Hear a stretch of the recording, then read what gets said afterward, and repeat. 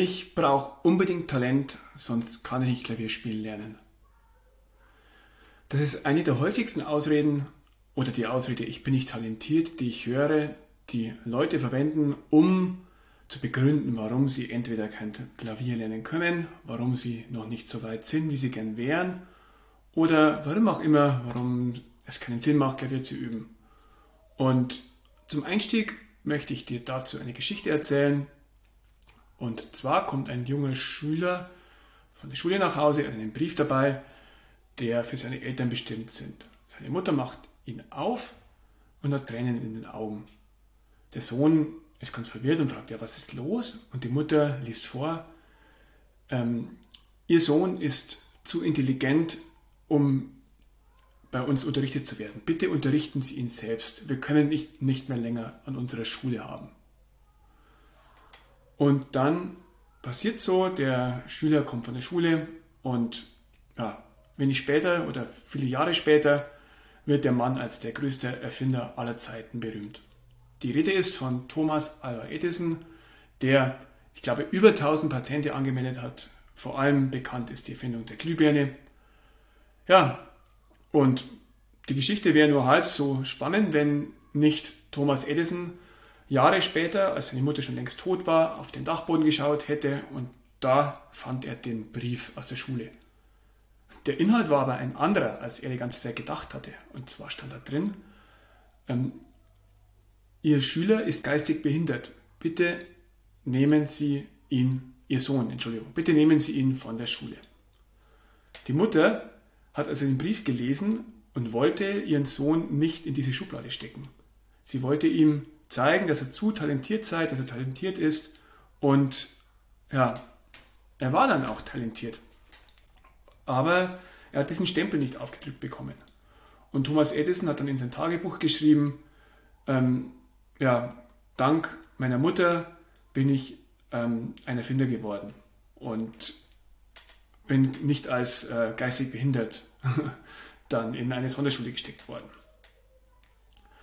Worauf möchte ich mit dieser Geschichte hinaus? Wir neigen dazu, uns Stempel aufdrücken zu lassen. Vor allem beim Thema Talent. Was ist denn überhaupt Talent? Talent wird unterschiedlich definiert. Meistens ist damit eine Begabung oder eine Fähigkeit gemeint, die in der Regel angeboren ist. Und du wirst bestimmt feststellen, dass dir manche Dinge leichter fallen, manche fallen dir extrem schwer. Häufig liegt das an Übung, häufig liegt es auch an Talent. Ich zum Beispiel, ich bin einfach kein guter Handwerker, kein Bastler. Egal wie oft ich einen Ikea-Schrank aufbaue, ich stelle mich immer an wie der Letzte. Mein Bruder dagegen, der hat von Kindesbeinen an schon super Sachen alleine aufgebaut, selbst äh, Möbel konstruiert. Für mich war das immer, ja, ich mochte es nicht und ich konnte es auch nicht. Ich bin da immer noch nicht talentiert. Und ja, das ist auch gut so, denn jeder Mensch ist anders. Ähm, ja, und in der Schule geht es dann meistens schon los. Der Lehrer sagt, du kannst kein Mathematik. Und dann denkst du, okay, ich bin schlechte Mathe. Und auch wenn du vielleicht gute Mathe wärst, allein dieser Satz sorgt dafür, dass du schlechte Leistungen vermutlich bringen wirst in Mathematik, weil du denkst, ja, ich kann es ja nicht, darum werde ich auch schlecht sein. Also eine selbsterfüllende Prophezeiung. Genauso ist es, wenn ähm, du von dir denkst oder gehört hast, du bist unmusikalisch oder du kannst nicht singen. Das ist ein ganz klassisches Beispiel und auch sehr sensibel bei uns, bei ganz vielen. Da gibt es eine lustige ja, Beobachtung. Ähm, geh mal in einen Kindergarten, in eine Gruppe und frag die Kinder, ja, wer von euch kann denn singen? Und von 20 Kindern werden 20 wahrscheinlich die Hände heben. Dann schau mal 15 Jahre später, wenn du dieselben 20 Leute fragst, Wer kann von euch singen? Gehen vielleicht maximal drei Hände hoch. Sind die alle viel schlechter geworden? Können die seit dem Kindergarten nicht mehr singen? Nein, das ist ihr Denken über sich selbst, dass sie denken, ja, hm, irgendwann hat ihnen mal jemand gesagt, du kannst nicht singen und dann, ja, ist es halt so und wird so akzeptiert. Das gleiche ist mit, der, mit dem Talent zum Klavierspielen. Auch ich, ich, hat, also ich war einigermaßen talentiert, habe ich mir gedacht, ja, mittel. Ähm, in meiner Klasse gab es aber auch ein Mädchen, das konnte wunderbar Klavier spielen. Das war so viel weiter, dass ich konnte schwierige Stücke mühelos spielen und Ja, es ist ja alles leicht von der Hand gegangen. Da dachte ich mir, wow, die hat Talent, ich irgendwie nicht. Ja, die Frage ist, war sie wirklich talentiert oder hat sie vielleicht mehr geübt als ich? Was ziemlich sicher der Fall war, denn ich war zu der Zeit ziemlich faul, was das Üben angeht.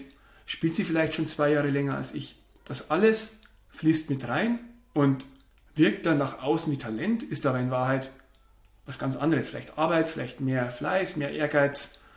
Und ja, auch ich hätte da die Talentaussage hernehmen können, ah, hm, ich höre auf, schau dir mal das Mädchen an, ich bin, ja, bei mir wird es doch eh nichts. Und dieselbe Frage, ja, vor derselben Situation stehen ganz viele, gerade wenn die die ersten paar Jahre Klavier hinter sich haben, vielleicht auch das erste Mal darüber nachdenken, ja, wie stelle ich mich an, bringt es das, ähm, lohnt sich das noch weiterzumachen. Ähm, aber die Frage ist, brauchst du wirklich Talent zum Klavierlernen? Und da zoomen wir ein bisschen raus. Was heißt, also kommt darauf an, was du für Ziele hast. Willst du Konzertpianist werden und Tausende unterhalten? Willst du vor, mit größten Orchestern spielen? Dann brauchst du vermutlich etwas Talent.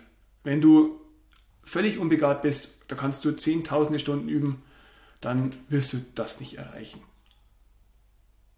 Willst du aber einfach nur schöne Musik am Klavier machen, deine Lieblingsstücke wiedergeben, einfach nur dich an Musik erfreuen, dich entspannen, ähm, nach und nach äh, immer schwerere Stücke lernen, dafür brauchst du absolut kein Talent.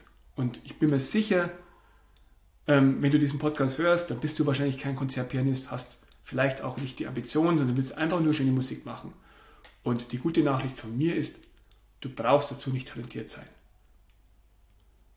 Es gibt ein nettes Zitat, das harte Arbeit Talent 10 von 10 Mal schlägt.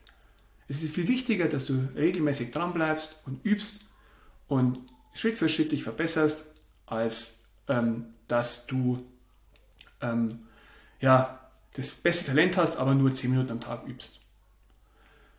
Das gibt es auch bei Fußballern. Ähm, ich vergleiche da immer ganz gern ähm, Lionel Messi und Cristiano Ronaldo. Beide sind die größten Fußballer unserer Zeit, wahrscheinlich auch die größten, äh, gehören zu den größten aller Zeiten. Lionel Messi ist ein Naturtalent. Der, was der macht, ist mühelos, der bewegt sich mit dem Ball, das ist wirklich, sieht fantastisch aus. Und Cristiano Ronaldo, der hat sich alles ganz, ganz hart erarbeitet. Der ist ähm, als Kind und Jugendlicher ist er nachts ins Fitnessstudio eingebrochen, weil er körperlich schwach war, weil er zu den Schwächsten gehört hat, um sich weiterzuentwickeln. Immer noch in seinen Clubs, wenn alle schon längst beim Duschen sind, dann schießt er allein Freistöße, ist das erste da, geht als letzter. Und das ist wirklich diese harte Arbeit. Wahrscheinlich war er auch zu einem Stück weit talentiert. Aber ähm, er ist einfach dran geblieben und hat äh, immer weiter gemacht. Äh, und das möchte ich dir auch mit auf den Weg geben, dass du dir überlegst, ja, was ist mein Ziel am Klavier und mal das Talent völlig ausklammerst und wie komme ich dahin und ja, wie, wie arbeite ich an diesem Ziel. Und möglicherweise fällt es jemand, der ein bisschen mehr Talent hat, ein bisschen leichter und der kommt mit 10%, 20% weniger Üben hin. Wahrscheinlich ist der Unterschied aber nicht so groß, wie du denkst. Und wichtig ist, dass du Schritt für Schritt einen Plan verfolgst und nicht im Zickzack irgendwas machst und ja, okay, harte Arbeit ist jetzt wichtig, aber was soll ich arbeiten? Da finde ich helfen zwei Dinge. Das eine kann ein Unterricht bei einem guten Lehrer sein, der dir wirklich mundgerecht Übungen, Stücke gibt und dich immer weiter fördert. Du übst und dann hast du wieder eine Unterrichtsstunde und es geht immer weiter bergauf. Oder du suchst dir einen wirklich guten Online-Kurs, auch die sind so aufgebaut, dass du Schritt für Schritt vorwärts kommst, dass du Schritt für Schritt neue Fähigkeiten lernst und wenn du einfach nur eine Lektion nach der anderen machst, dann wirst du dich enorm weiterentwickeln. Zum Thema Online-Kurse, ähm, die sind in den letzten Jahren wie Pilze aus dem Boden geschossen und ich kriege ganz viele Mails mit von Leuten, die sagen, ja, ich bin verwirrt, welcher Kurs ist denn gut, ähm, soll ich eine App nehmen, ähm, was, was empfiehlst du? Und weil es so viele Angebote gibt und weil es auch extrem individuell ist, je nachdem, was du lernen willst, ob du klassische Stücke, Freiklavier spielen, Jazz, ähm, je nachdem, was du lernen willst, gibt es unterschiedliche Angebote. Und da habe ich für dich ein Angebot. Du äh, kriegst für mich ein ausführliches PDF, wo ich alle Klavierkurse, oder nicht alle, aber ich habe viele, viele Klavierkurse getestet ausführlich und habe die zusammengeschrieben, was ist dann gut, was ist dann schlecht, äh, wie viel kostet es ähm, und wo kriegst du das und für wen eignet es sich. Wenn du hier in den Shownotes oder unter dem Video äh, schaust, du klickst, da verlinke ich dir dieses PDF, das du dir kostenlos runterladen kannst. Dann, ähm, ja, zum Schluss bleibt nur noch zu sagen, spiel Klavier unabhängig von deinem Talent, sondern weil es dir Freude macht und denk dran, dass wirklich harte Arbeit Talent schlägt.